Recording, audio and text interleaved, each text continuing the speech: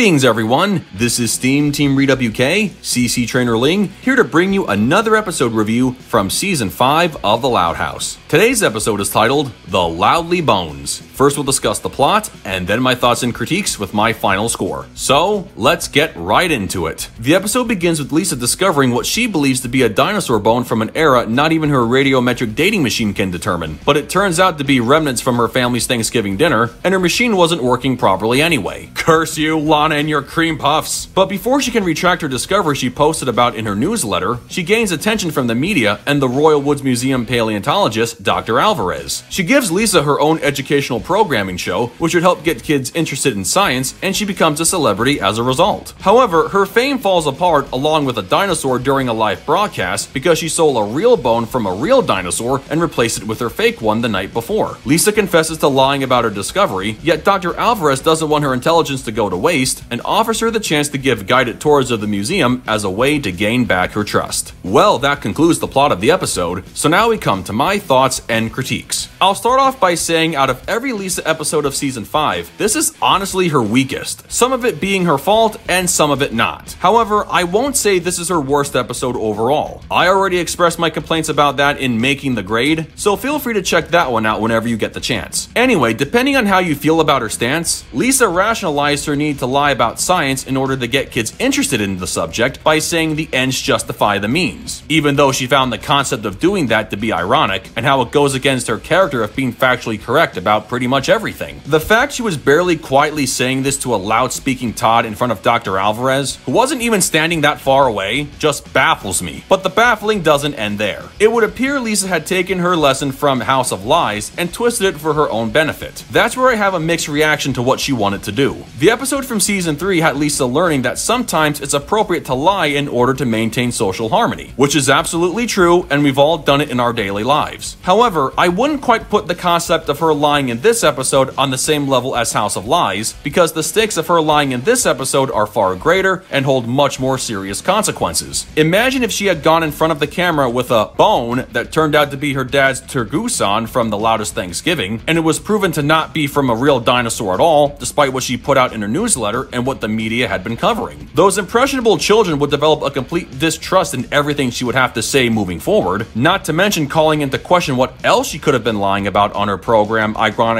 titled facts matter. As a quick side note, I like to think of Lisa's show as her version of Bill Nye the Science Guy, where she can get kids interested in science and doing so in a way that doesn't turn them off like she did in the episode School of Shock. Still, you can't refute what Lisa said about the ends justifying the means. The fact is, Lisa's show was becoming popular and kids were paying attention and learning from it. Clearly, she became an influence, and some kid was grateful when he thanked her for teaching him that the Earth was in fact round. I don't know who was giving this flat earthing kid his previous information, so you can see how Lisa brought him into the light. You can imagine how he might have gone back to believing the Earth wasn't round following what could have been an even worse disaster if Lisa's big lie was revealed at the museum. That's where the final four minutes of the episode took place, and that was where the story started to literally fall apart. First off, how incredibly convenient that a museum full of priceless artifacts just happened to have an unlocked door. I guess it's better than the old-fashioned way of breaking and entering while fighting off and or hiding from security guards. Remember, Incognito Laboratories had better security than this museum. So who exactly is protecting this place at night? Ben Stiller? Second, Lisa used her dad's failed attempt at making some kind of sauce as glue for the fake bone. So what happened to that adhesive she made back in the episode Spell It Out? It seems like her application for a patent on that stuff conveniently wasn't going to work out for the plot of this episode. Of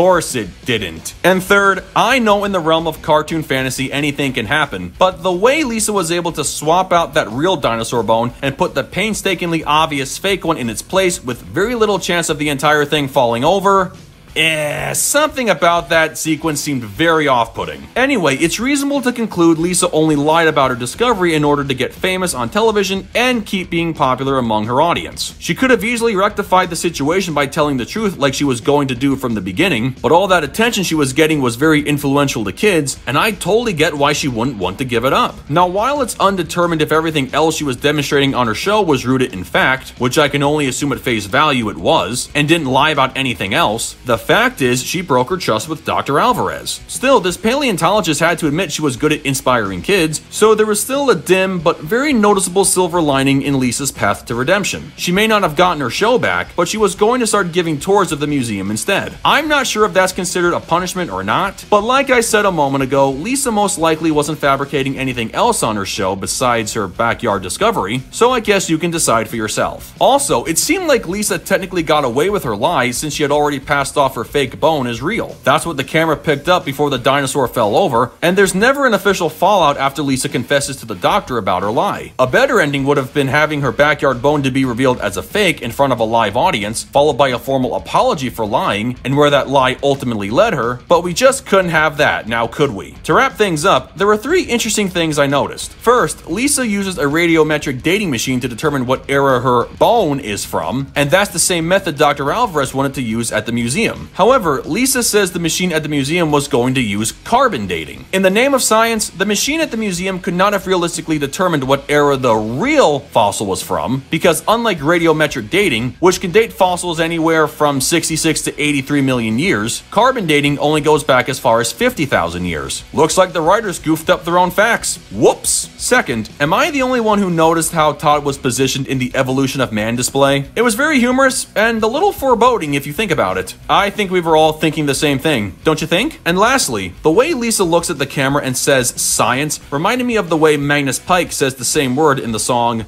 She blinded me with science. Now the running gag of using that song in my other reviews is finally paying off. Why did I make that a running gag? For one simple reason. Science. Yep, I just love that song. Overall, this episode is like an alternative version to House of Lies, only this time Lisa took what she learned previously and got a media deal out of it. The story was okay, but it was really lacking a little more than halfway through, mostly because of the overly convenient methods of pushing things forward like an unlock museum door, the way the bones were switched on the dinosaur, and not making the most of past episodes when it comes to an unusual but more effective method of creating glue as we saw in Spell It Out. This was the first time Lisa deliberately withheld information about something in the field of science, a subject her character is based around. Again, I understand the desire to keep the gravy train rolling and how lying can have its benefits, which paid off for both her and the kids idolizing her. And technically, she was on the verge of getting away with everything if that dinosaur didn't collapse in the museum. But even if she went on camera with a fake bone and was forced to admit it was all a charade while everything else on her show was 100% true, it being found out she was trying to classify a rare dinosaur that never existed would place a lot of doubt and distrust in the minds of the children who praised Lisa as an inspirational genius. She should have admitted the truth while on the air regardless, but I guess the audience had to settle for an off-screen apology. Again, how convenient. In short, a lot of what she did to cover up her lie wasn't a good look for her character. It also wasn't a good look for Dr. Alvarez either, considering she got fooled by a five-year-old. And maybe Lisa needs to stick to the dreamboat and cream puffs for a while like the rest of her siblings. You certainly can't go wrong there. With that said, I give The Loudly Bones a 7.3 out of 10. Well, folks, that concludes my review of The Loudly Bones. With the ending we got, I'm curious to see if Lisa being a tour guide will be brought up again the same way Leni landed a job in season 3 and has been brought up several times ever since. It's an intriguing thought, but I won't hold my breath. So what did you guys think of it? Love it? Hate it? Something you would add? Change? Keep it as it is? Let me know in the comments below. And make sure to subscribe to this channel for the latest Loud House content. That's going to do it for me. I'll catch you guys for the next video. But until then, this is Steam Team Redub UK, CC Trainor-Ling, signing off. Peace out, home slices.